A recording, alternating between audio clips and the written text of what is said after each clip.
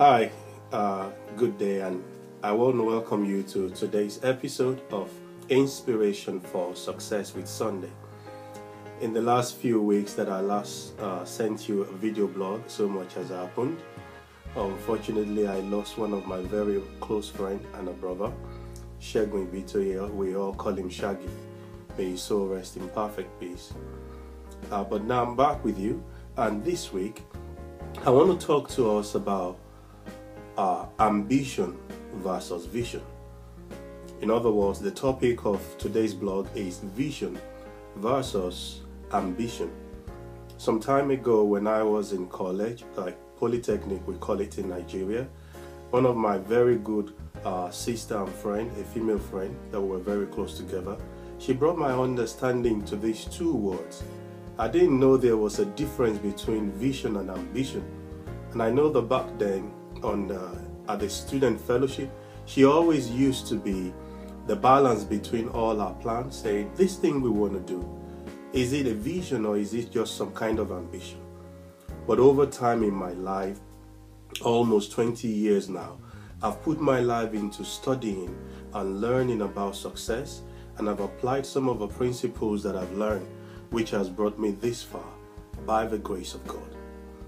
Today, I want to talk to you about vision versus ambition. Now, somebody might think that's just a pun, it's just playing with words, but it's not. To start with, vision is the purpose of your life. It's similar to the dream of your life. It is a purpose you're supposed to achieve. It could be the purpose for your business, it could be the objective you set out to achieve in your organization, it could be a dream that you are living for. While ambition is the drive, what pushes you, your drive, your relentless pursuit of your vision, that is a ambition. Now, where does do we have conflict between vision and ambition? Usually, if you have only vision without ambition, you may not stay too long.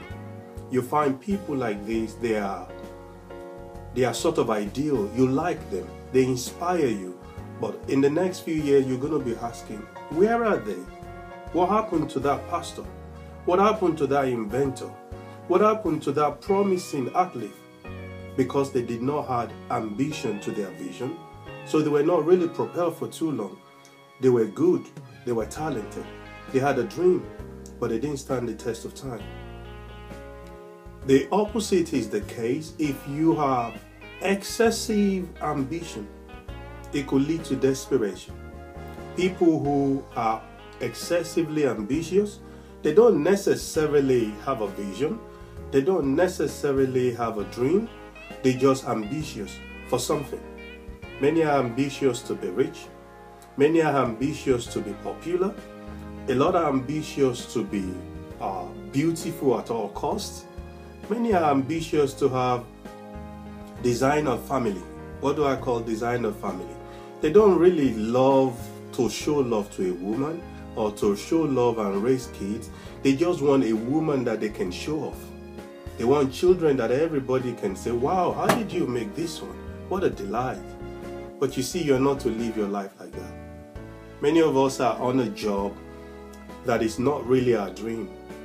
The life you're living right now, is it your life or are you living for someone else? The job you're doing right now, the direction you're taking your organization now, is it born out of a vision, out of your own original dream? Or have you joined the bandwagon of just wanting to make something happen? People who are self consumed with ambition, they are unnecessarily uh, desperate. They want to pull everybody down, they want to be the best at all costs. When you are driven by ambition and it goes to extreme, you lose what we call the virtue, uh, the, the noble law of love. You are driven by greed. You become selfish. And then you become unnecessarily competitive. If others don't fail, then your success is not valid. You are happier when more people cannot make it, but you can. You are happier when others come out dressing shabbily and you are the best dressed. But you see, it shouldn't be that way. Now, your life should be about your dream. Your life should be about your ambition. Now, somebody might say, okay, the way you've been saying it, okay, should I go for vision and forget about ambition? No, you should not.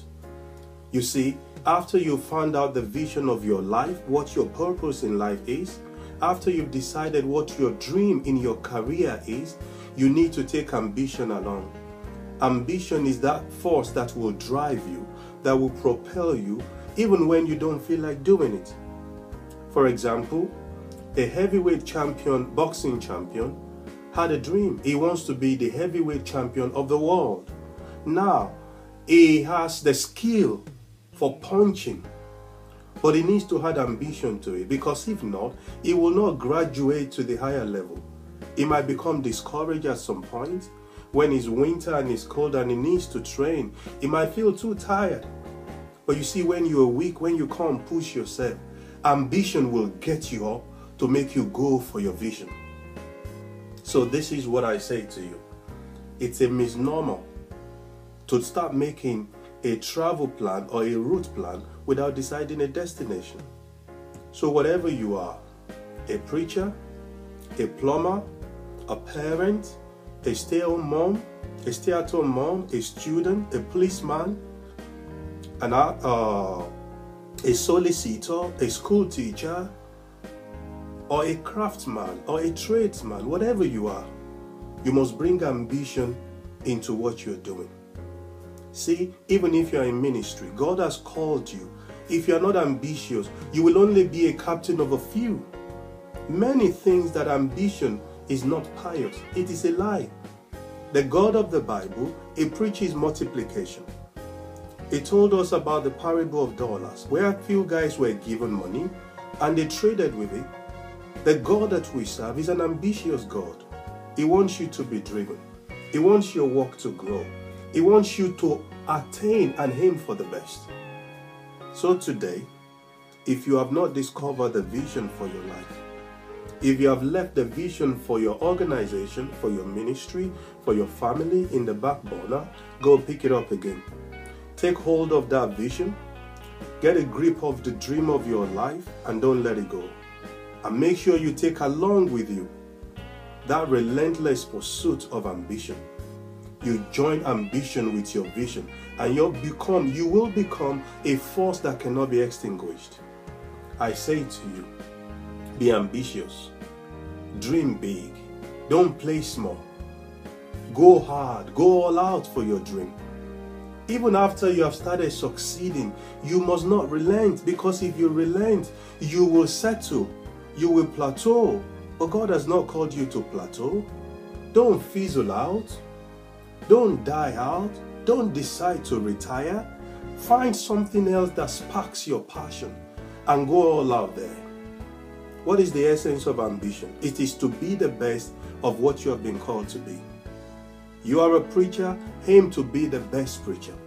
You are a father, aim to be the best father. You are a husband, aim to be the best husband for your wife. If you are a teacher, aim to be the best school teacher. That is when your ambition is yielding result. So don't be satisfied with saying, This is the purpose for my life. I'm living my dream. If you start living your dream without being ambitious, you will soon fizzle out. So I see you at the top. Get hold of your dream, uh, garnish it with ambition, and don't let it go. Don't let it go. Don't retire to don't decide or agree to retire. Make sure that you pursue your dream to the last drop. Aim for gold. Aim to be the best. Be the best plumber on your street. Be the best uh, father. Be the, ble- the best lawyer. Be the best policeman. Be the best of everything. But garnish it with patience. Let us not become victim of unnecessary desperation. Thank you for watching today. I remain your friend and brother Sunday. Until next time, go and succeed. Bye bye.